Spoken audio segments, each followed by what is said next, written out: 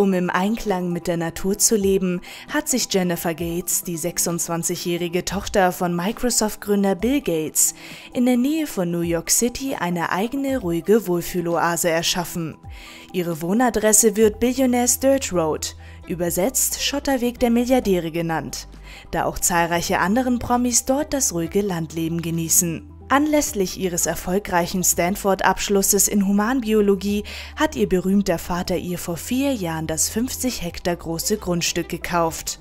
Um möglichst nachhaltig zu leben, hat die 26-Jährige das bescheidene Wohnhaus nicht abgerissen, sondern es mit zusätzlichen Ställen, Reitplätzen und Gästehäusern zu ihrem eigenen Heim gemacht. Dort lebt sie gemeinsam mit ihrem Ehemann Nayel Nassar der sowohl Profispringreiter als auch ehemaliger Stanford-Absolvent ist. Geheiratet hat das junge Paar im Jahr 2021 auf seiner Farm. Im Jahr 2023 erwarten die beiden ihr erstes gemeinsames Baby. Ihr Kind wollen sie auf der Farm aufwachsen sehen, umgeben von den Pferden, die das Paar pflegt und liebt. Die Leidenschaft für Tiere, die Jennifer und ihr Ehemann sehr stark verbindet, entwickelt sich bei Bill Gates Tochter schon sehr früh. Bereits mit sechs Jahren sitzt sie auf einem Pony und übt Springreiten.